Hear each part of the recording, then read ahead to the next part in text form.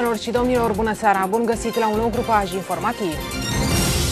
Joi seara a debutat cea de-a 25-a ediție a Festivalului Internațional al Viei și Vinului Bacchus 2017. În debutul festivalului la Casa Armatei a avut loc o expoziție de vinuri. Aici reprezentanții Consiliului Județean au susținut o conferință de presă și au vizitat standurile producătorilor. Reprezentantul Consiliului Județean Vrancea, vicepreședintele Cristian Dănuț, a pus în evidență faptul că Vrancea merită un festival al viei și vinului, pentru că aici se află cea mai mare suprafață de vițe de vie și cei mai mulți producători din țară. Este o atât un privilegiu pentru noi, pentru ce suntem cetățeni ai acestui ținut minunat, dar și un privilegiu pentru că vă avem alături. Vă avem alături pentru un cel comun, acela al viei și vinului. Iată, natura și rolul naturii unesc oameni. Și asta nu ne îndeamnă decât să mergem mai departe. Dorim să mulțumim invitațiilor la și alături de noi, domnul profesor universitar doctor, Valeriu Cortea, domnul Marian Timochi, președintele Organizației Sommelierilor din România 2011. Este o onoare pentru că avea alături de noi. Consiliul Județean dintotdeauna a promovat tradițiile și obiceiurile României și a județului Târgu. Este o moștenire pe care, la rândul nostru, trebuie să o ducem mai departe. O moștenire pe care o respectăm și care întotdeauna va fi Crăciunul nostru. Menica principală a Festivalului Național al Viei și Vinului a fost aceea de a promova păstorenii și păstorile crânceni. Noi, ca și administrația județeană, am depus toate eforturile pentru ca producătorii crânceni să-și poată uh, pune în evidență și mări atenția acelor interesați în acest uh, domeniu minunat asupra calității vinurilor, calității serviciilor, ceea ce înseamnă vinurile la vizitarea standurilor de producători din Vrancea au participat și jurații de la concursul de vinuri organizat în cadrul festivalului. Bună ziua tuturor! Eu nu pot decât să mulțumesc în numele întregii organizații Consiliului Județean Vrancea, cu care colaborăm de circa șase ani de zile. Probabil profesionalistul nostru a făcut ca în acest an să fim invitați să susținem această organizare a concursului de vin și a evenimentelor care au fost aici. Este o onoare pentru noi. Am făcut tot ceea ce ne-a stat în putință ca între timp relativ scurt, încât am avut marele eveniment la Iași, concursul de vinuri al somelierilor la Iași, sub uh, președinția domnului profesor uh, dr. Valeriu Becodea, căruia îi mulțumim încă o dată că a fost alături de noi și că este alături de noi în continuare. Deci, uh, vă promitem că la anul probabil vom fi anunțat cu mai mult timp înainte ca să putem crea un concurs cu uh, o amploare mult mai mare decât cel de anul ăsta și sperăm să avem probe chiar din toată țara și mult mai multe probe din Europa. Avem aici somelieri care au venit din Italia să ne susțină colegii noștri.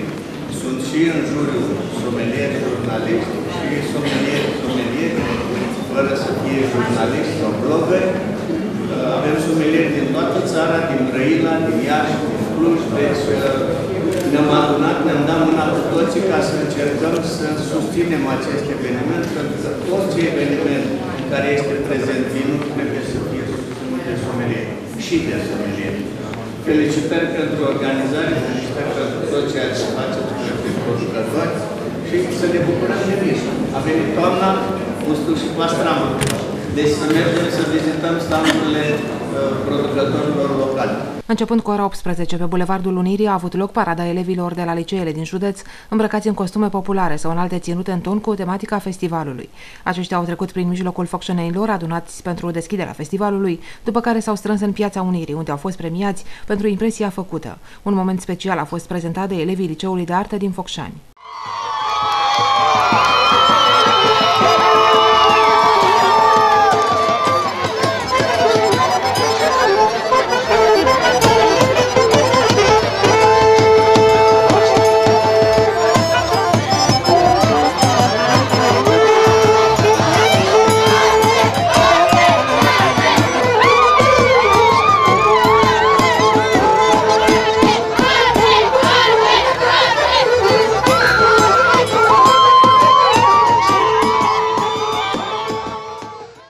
Câștigătorii au fost premiați astfel locul 1 1700 de lei, locul 2 1600 de lei, locul 3 1500 de lei, premiul special 1400 de lei și o mențiune de 1300 de lei. Celelalte echipe au primit câte 1000 de lei pentru participare. Liceenii au fost susținuți de profesorii lor, de directorii de licee și de inspectorii școlari. La acest concurs au participat 17 alaiuri din tot atâtea licee din județ. Județul Vrancea se află sub atenționare cod portocaliu de vreme rea de vineri, 7 octombrie, ora 9, până sâmbătă 8 octombrie, ora 15. În acest interval, instabilitatea atmosferică va fi accentuată și se vor semnala cantități importante de precipitații.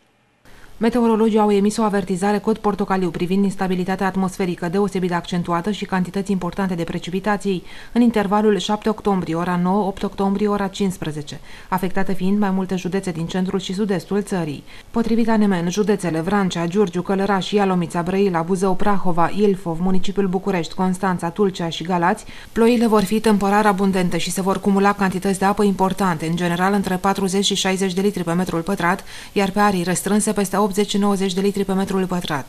În Carpații Meridional și de curbură, în special la peste 1600 de metri altitudine, nisorile vor fi temporar mai consistente, cu depunere de stradă zăpadă și, mai ales pe creste, va fi viscol. Prezent la Focșani, în calitate de președinte al juriului concursului de vinuri Bacchus 2017, academicianul Valeriu Vecotea, președinte al patronatului român al viei și vinului, susține că producția de vin din această toamnă va fi una de o calitate superioară. Specialistul susține că vinurile roșii necesită o perioadă mai lungă de maturare. Academicianul Valeriu Vecote a spus că producția de struguri a fost una de calitate în acest an și, în consecință, producția de vinuri ar trebui să fie bună din punct de vedere calitativ. Președintele juriului a afirmat că producția României de vinuri ar trebui să fie dublă față de cât este la ora actuală. Cantitatea de vin care se produce în România este în jur de 4,5 5 milioane de hectolitri, ceea ce este puțin. Trebuie să ajungem unde? Păi trebuie să ajungem uh, cel puțin să dublăm cantitatea. Gândiți-vă, ca să vă dau un exemplu că e cel mai ușor de înțeles, Germania are jumătate din suprafața viticolă a României, iar producția de vin e dublă. Și cu asta am explicat de ce. Este mai ieftin vinul din afară? Uh, din anumite țări, da. Vinul din Spania, de multe ori Italia, Sicilia, cel care se importă este mai ieftin, iar noi nu reușim să producem la prețurile acestea. Românii preferă vinul îmbuteliat sau vinul vrac? Este o deschidere mare spre vinul vrac, dar nu numai aici. Să știți că vinul vrac a crescut în, pe toată piața mondială. Adică tranzacțiile care se fac cu vin vrac sunt în, în creștere. Dar ceea ce m-ați întrebat noastră e legat de consumator, cum preferă, dacă preferă vinul vrac sau vinul îmbuteliat. Sigur că întrebarea nici nu ar trebui pusă, toată lumea ar prefera vin îmbuteliat, dar e mult mai scump decât vinul vrac și atunci uh, trebuie găsit un echilibru între preț și cantitate. Cum va fi vinul la anul acesta? Cum e producția? Producția e foarte bună. Este un, a fost un an bun. N-am avut de suferit ca alte culturi, să spunem, la alte fructe, mai ales la pom, la, datorită gerului și a zăpezii care a fost pe 21 aprilie. Au fost puține zone afectate. Vița de vie a rezistat și avem o producție frumoasă, bună, de calitate. Sperăm să avem și vinurile bune. Astfel, Germania are o suprafață de viță de vie la jumătate față de țara noastră, însă cantitatea de vinuri este dublă. De asemenea, Spania produce la costuri foarte mici, în timp ce țara noastră nu poate obține asemenea costuri, deoarece viile sunt îmbătrânite cu o producție mică. Agenția Județeană pentru Ocuparea Forței de Muncă Vrancea a dat publicității oferta locurilor de muncă declarate vacante de către angajatori în această săptămână. 240 de posturi sunt disponibile pentru cei care vor să se angajeze în această perioadă. Cele mai multe locuri de muncă sunt ca de fiecare dată în confecții și în construcții. Operator confecționer industrial, 39 de posturi, muncitor necalificat în industria confecțiilor, 33 de posturi și muncitor necalificat, 15 locuri de muncă. Agenția Județeană pentru Ocuparea Forței de Muncă Vrancea face publică lista locurilor de muncă vacante pentru această săptămână. Agenții economici din județul Vrancea au declarat 240 de locuri de muncă vacante, în meserii precum agent securitate și intervenție, agent vânzări, ambalator manual, asistent medical, antrenor, barman, brutar, casier, consilier juridic, dulgher, electrician, frezor universal, fierar betonist, instalator construcții, inginer TCM, inspector de specialitate, kinetoterapeut, manipulant mărfuri, medic veterinar, merceolog, ospătar, uh, șofer, strungar, tehnician veterinar, tinichigiu, zidar și zugrav. De asemenea, pentru Comunitatea Economică Europeană sunt uh, vacante un număr de 1326 de uh, locuri de muncă în țări precum Finlanda, Germania, uh, Italia, Luxemburg, Malta, Marea Britanie, Republica Cehă, Slovacia și Spania. Cele mai multe locuri de muncă sunt vacante în Spania, de unde avem 800 de locuri de muncă la Cules Căpșuni, Uh, la o firmă din uh, Spania uh, pentru cupluri și femei. Agenția Județeană pentru Ocuparea Forței de Muncă Vrancea organizează o bursă a locurilor de muncă pentru absolvenți. Aceasta se va desfășura pe 20 octombrie, începând cu ora 9, la Focșani și în Adjud. La Focșani, evenimentul va avea loc la sala Balada a ansamblului folcloric Țara Vrancei, iar la Adjud la cantina primăriei din strada stadionului numărul 2. Acțiunea își propune întâlnirea pe teren neutru între solicitanții de locuri de muncă și reprezentanții angajatorilor pentru selecții în vederea ocupării locurilor de muncă vacante. Agenția Județeană pentru Ocuparea Forței de Muncă Vrancea organizează în data de 20 octombrie 2017 bursa locurilor de muncă pentru absolvenți.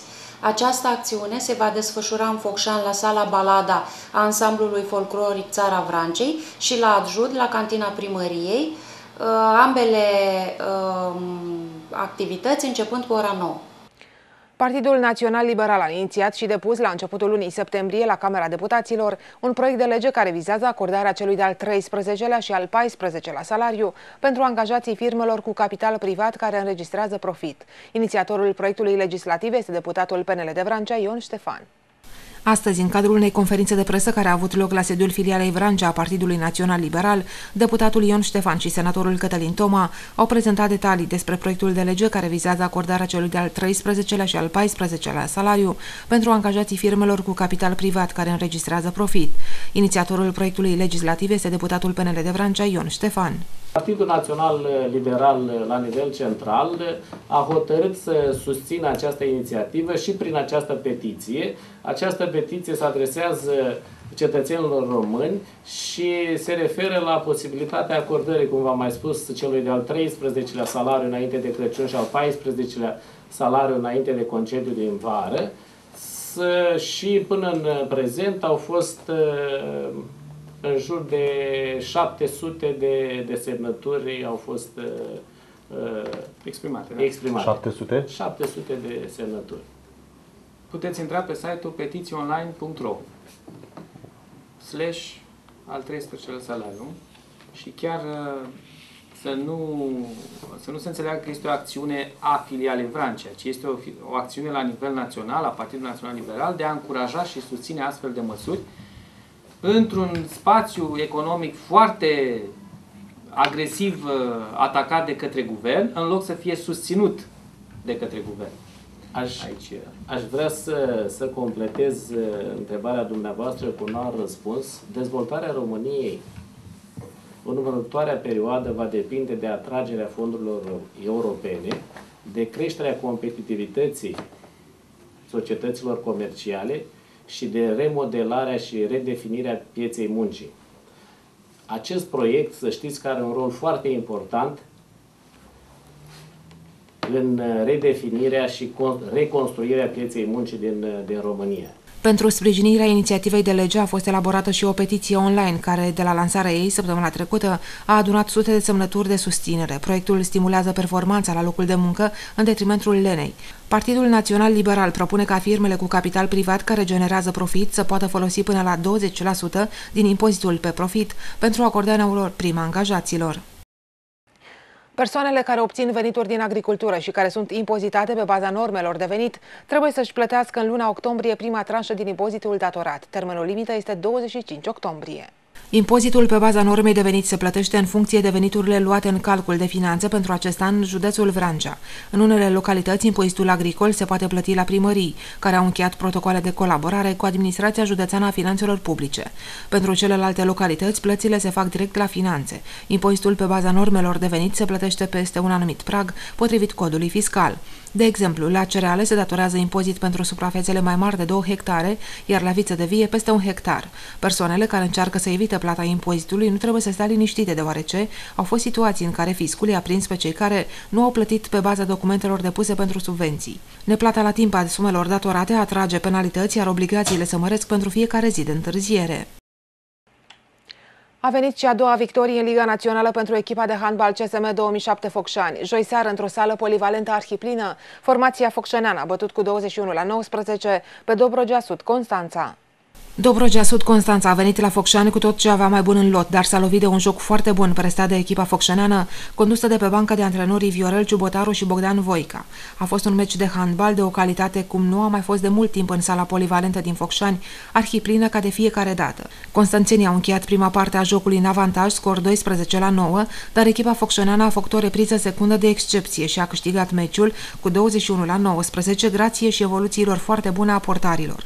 În etapa următoare, CSM CSM 2007 Focșani va juca miercurea viitoare pe terenul grupării CSU Suceava. După șase etape disputate în prima ligă, echipa din Focșani ocupă locul 12 cu 6 puncte. Voleibalistele de la clubul CSM 2007 Focșani vor susține sâmbătă primul meci oficial din sezonul 2017-2018 al diviziei A2. Formația antrenată de Marian Rădulescu va întâlni de la ora 13 în sala de sport a liceului cu program sportiv Focșani, gruparea CSM București. Sezonul oficial de volei feminin în divizia A2 va debuta sâmbătă odată cu partidele primei etape. Fetele de la CSM 2007 Focșani vor avea un campionat mai lung decât precedentele, pentru că seria este alcătuită din 8 formații, ceea ce înseamnă 14 meciuri față de cele 10-12 în competițiile anterioare. Sportivele antrenate de Marian Rădulescu au început pregătirea în august, au fost într-un stagiu montan la Gheorgheni și au participat la turneele amicale de la Brașov și Buzău. Sâmbătă 7 octombrie, în prima etapă, echipa Focșanului va susține și primul joc oficial din campionat. Gruparea focșaneană va evolua împotriva grupării CSM București, confruntarea fiind programată de la ora 13 în sala liceului cu program sportiv din Focșani. În sezonul trecut, echipa de pe Milcova a încheiat seria Est pe locul 2 și a participat la barajul de promovare, dar nu a putut participa în prima ligă din cauza imposibilității clubului de a asigura finanțare.